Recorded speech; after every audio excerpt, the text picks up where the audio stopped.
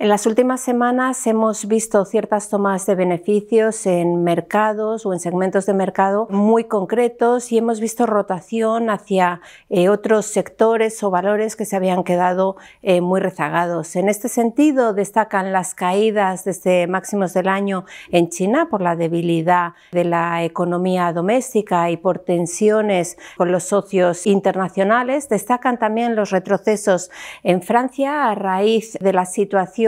política después de las elecciones anticipadas en el país que han dejado una Francia por el momento sin gobierno. Y también y sobre todo hemos visto tomas de beneficios en las tecnológicas, en el Nasdaq a raíz de unos eh, inversores cada vez más exigentes con la monetización de las eh, fuertes inversiones que se han realizado en inteligencia artificial. Y por el contrario lo que hemos visto también es rotación, como decíamos, hacia otros sectores o valores que se habían quedado muy rezagados. Este es el caso concreto de las small caps, eh, se puede ver muy bien en el Russell 2000, el índice de small caps americanas, como desde que se publicó el eh, buen dato de inflación americana han tenido un comportamiento mucho mejor en términos relativos al SP500 y sobre todo al tecnológico Nasdaq. Esto se produce, como decimos, en un contexto de moderación de la inflación que permite anticipar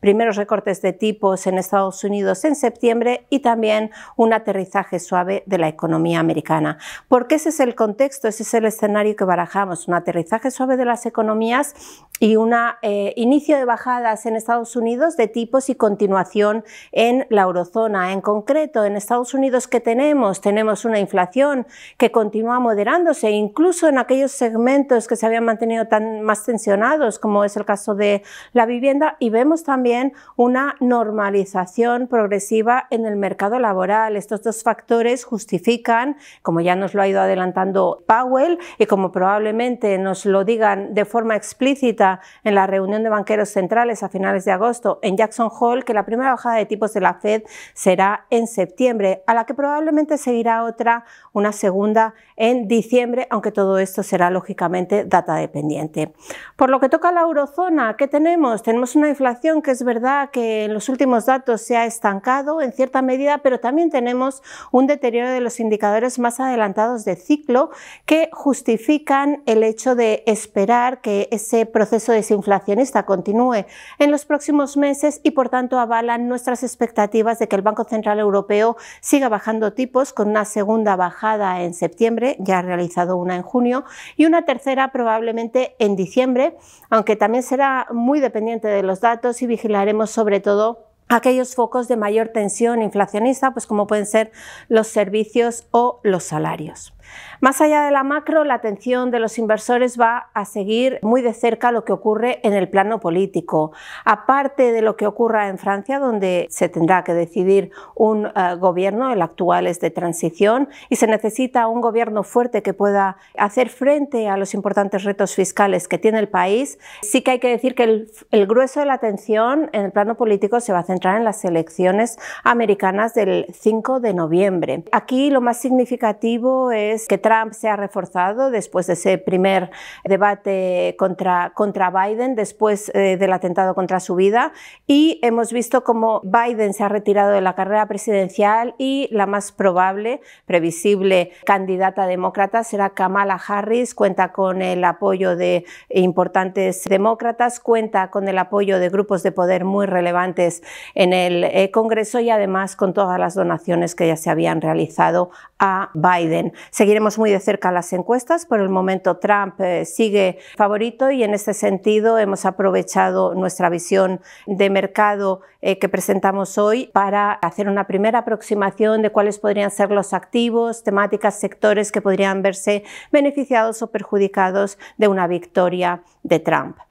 En el plano empresarial, hemos visto como los resultados del segundo trimestre han tenido un tono en general positivo en Estados Unidos. Más del 80% de las compañías que han publicado han batido previsiones en BPA, en beneficio por acción. El tono ha sido un poco más tímido en Europa, solo un 52% han batido estimaciones. Ahí está pesando cierta desaceleración en los últimos indicadores más adelantados de ciclo y la exposición a China, pero esperamos recuperación en las segunda parte del año que permita esas previsiones de crecimiento de BPA del consenso, que para Europa están en el más 3% para el conjunto del año, se cumplan y creemos que no debería haber problemas en que también se cumplan las americanas más 11%. En todo este contexto, las valoraciones bursátiles están en niveles atractivos en Europa en general, en España en particular y en el caso concreto de Estados Unidos sí que es cierto que están algo más tensionadas, pero sobre todo por la tecnología y especialmente por los siete magníficos. Si excluyésemos este impacto estarían más o menos con su media histórica, que creemos que son razonables teniendo en cuenta que nuestra idea es aterrizaje suave de la economía y continuación en las bajadas de tipos de interés. En este escenario nuestro asset allocation no varía significativamente respecto a, a nuestra estrategia anterior. En deuda pública seguimos en los plazos cortos, no tenemos eh, prisa por alargar duraciones. En crédito seguimos también en grado de inversión, eh, aún siendo conscientes de que eh, los niveles de diferenciales de crédito se están o siguen en niveles muy, muy ajustados. Y en el caso concreto de las bolsas, creemos que existen determinados riesgos que podrían llevarnos a mejores puntos de entrada. ¿Cuáles serían estos riesgos? Fundamentalmente político, las elecciones pueden incrementar la volatilidad de los mercados, geopolíticos, con riesgo de extensión del conflicto a Oriente Medio, así como de ciclo, que haya una desaceleración excesiva del mismo, o de inflación que no se da tanto como se esperaba. Aun con todo, consideramos que hay razones para pensar que esas tomas de beneficios deberían ser limitadas en tanto en cuanto se cumpla nuestro escenario central, que recordamos una vez más es de aterrizaje suave de la economía global, continuación eh, de las bajadas de tipos de interés y rotación hacia otros sectores más rezagados que permitan dar sostenibilidad a las subidas. Para más detalles se puede consultar nuestro eh, documento completo en la web. Muchas gracias.